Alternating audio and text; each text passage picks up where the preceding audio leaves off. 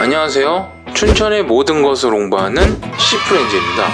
이 꽃이 무슨 꽃인 줄 아세요? 바로 백합과에 속하는 부추꽃인데요. 다른 지방에서는 정부지, 부채, 부초, 난총이라 부르기도 하는 부추는 비타민 A와 C가 풍부하고 간, 당뇨, 마지막으로 정력에도 좋다고 하네요.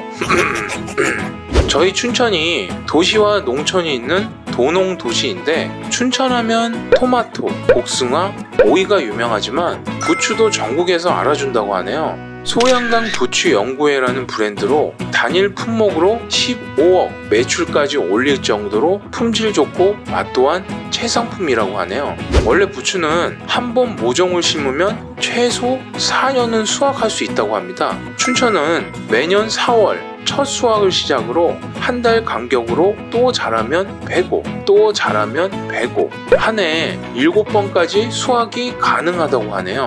1년 중엔 7, 8월이 제일 비싼데요. 부추꽃이 피어서 꽃을 제거해야 하기 때문에 수확량이 떨어진다고 하네요. 경상도 지역에서 유난히 부추 소비량이 많은데 무려 30%나 차지한다고 합니다. 춘천 부추도 부산까지 간다고 하네요. 뭐 하긴 부산은 순대국밥이 유명해서 그럴지도 모르겠네요.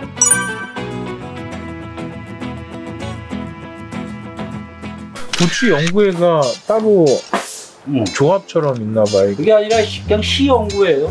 시연구. 이제 초창기에만 얘기를 하면 춘천시 소양강 부추연구회라고 이렇게 해서 처음에 여섯 명이 결성을 해가지고선 시작이 된 거지.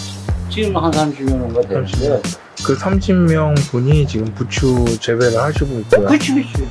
개인적으로 나만 20년 됐고, 네. 나 혼자 그렇게 하다가 2012년도가 시작이 됐고, 그걸 토대로 해갖고 기술센터로부터 우리 이렇게 해서 부추를 해서 이렇게 해보려는 달에 해갖고 지원 사업이 시작이 됐고, 아.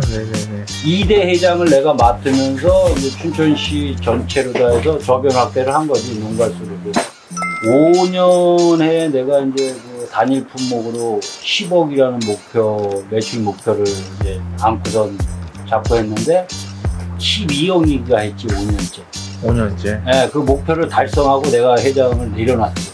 낮으로 기세요? 아니면 기계로? 그 손으로 해. 아, 낮으로. 어. 음. 부추낫이라고 이렇게 톱, 톱, 톱 니 모양으로 이렇게 생긴 여기 나타난 적 없나? 뭐? 그리고 이 지금 묶어주는 기계가 예전에 다 손으로 묶었어요.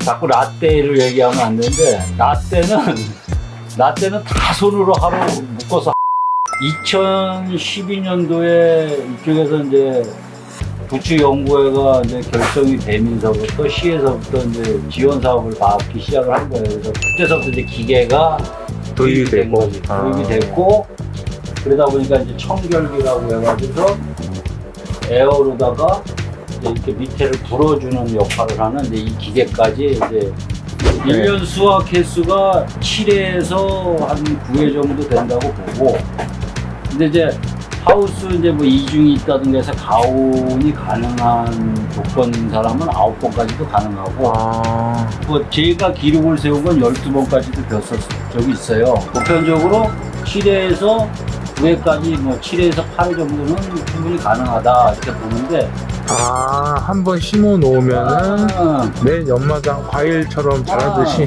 그렇지 그렇지 아. 그 채소 작물 중에서는 이제 부추가 수확 연수가 그건 최소 4년이고 내가 좀 뭐 토양 관리를 한다든가 뭐 이제 이렇게 했을 경우 뭐 10년도 가능하다. 부추의 장점이라면 이제 그게 있고 품질은 칠해야 되고. 녹색이 예, 진해야 예. 되고 광이 나이 되며 줄기는 허옇대 뭐 이거지 뭐 줄기는 좀 달짝지근한 매우면서도 달짝지근한 맛이 나고 초벌부추 초벌부추 하는 거 봄에 처음 올라오는 부추가 제일 양분든 뭐든 제일 좋다 사이한테도 안 준다는 게 초벌부추 4월. 앞으로 춘천 부추 브랜드인 소양강 부추 연구에 많이 이용 부탁드립니다. 오늘 부추전 어떠신가요? 이상 춘천의 모든 것을 홍보하는 시프렌즈였습니다. 구독, 좋아요는 저희에게 큰 힘이 됩니다.